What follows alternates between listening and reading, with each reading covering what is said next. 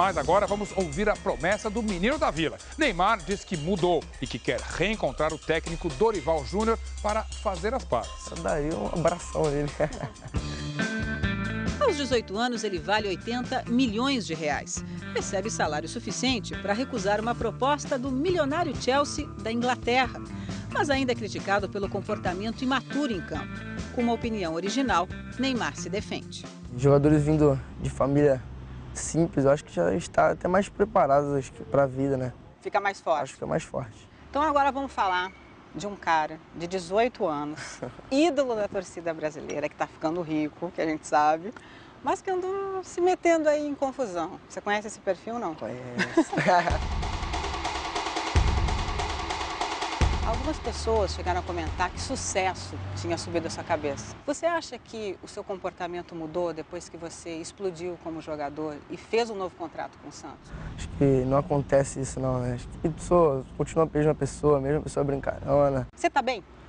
Tô bem, tô bem. Tá feliz? Tô muito Tá feliz. realizado? Tô realizado com tudo que tá, tá se passando na minha vida. E onde você pensa em chegar? Onde você quer chegar? Quero disputar todos os melhores campeonatos do mundo, desde Paulista à Copa do Mundo. Mas Neymar não estava na seleção que jogou contra Irã e Ucrânia agora em outubro. Você encarou isso como um castigo? De não ter sido convocado? Sim. Acho que pelo que eu, pelo que eu fiz, pelo que eu errei, eu entendi o porquê da não convocação. Neymar está falando das confusões em que andou se metendo. Em setembro, irritado com a marcação recebida na derrota para o Ceará, ele começou uma briga no fim do jogo.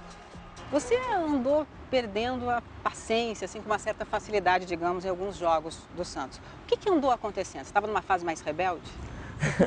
Dá para dizer isso, não? Não digo rebelde, né? Acho que eu tenho apenas oito anos. Acabei errando uma vez, que não vai acontecer mais. Ter que amadurecer rápido demais, assim, tão depressa aos 18 anos, pira um pouco. Acho que não tem como amadurecer de uma hora para outra, né? A gente vai aprendendo com a vida.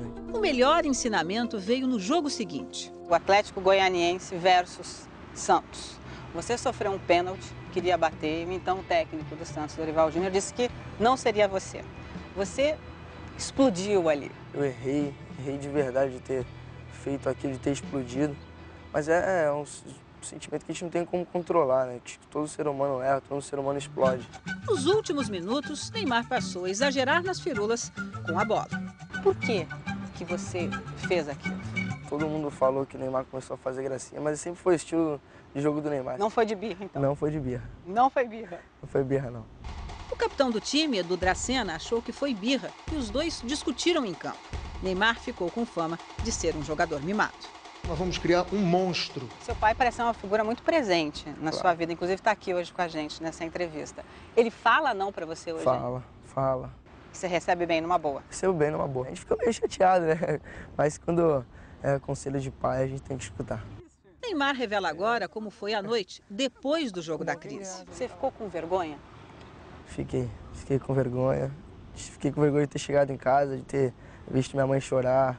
Quando seu pai falou com você, a sua mãe chorou, você se tocou ali? Me dei conta, me dei conta que tinha errado feio e queria e tinha que pedir perdão para todos, né? Não só pro, para o Dorival, mas como para minha mãe, para meu pai, os torcedores do Santos, para o Brasil inteiro, para o mundo, né? Sua mãe estava chorando. O que que ela disse para você? Ela falou que não era o filho dela, né? Falou que não é o filho que ela criou. Ela queria o Neymar de volta, né? Queria o Juninho de volta, como foi chamado em casa.